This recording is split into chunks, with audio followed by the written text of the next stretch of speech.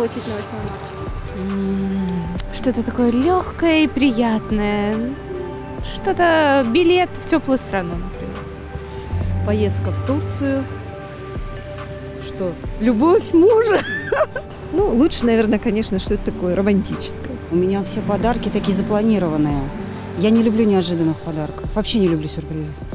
Вот. Как-то в основном у меня все спрашивают, что подарить. И по большей части подарки такие, наверное, нужные. Наверное, все-таки надо знать какие-то качества проявления своей второй половины, да, и с- учитывать хотя бы, да, что-то. Почему? Потому что а, сюрприз это здорово, но не все принимают сюрпризы, да, они иногда бывают, вторая половина такая бывает странная. Какой подарок лучше не дарить на 8 марта? Ну, наверное, связанное с чем-то бытовым, типа там швабру или сковородку. Хотя с возрастом хорошая сковородка, знаете, дорогого стоит.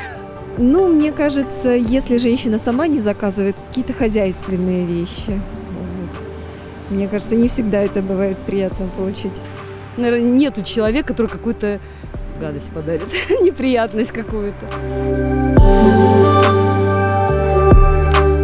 Мне кошечку подарили свинс, внуки.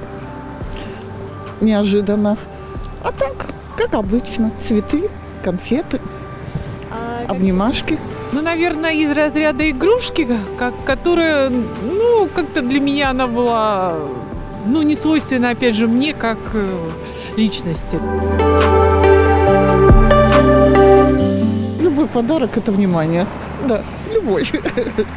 Да, нет, нет, нет, все подарки хороши. Я к подаркам на 8 марта отношусь всегда очень тепло и нежно. Это говорит о том, что человек просто о тебе подумал. И неважно, подруга, любимый, друг, родственники.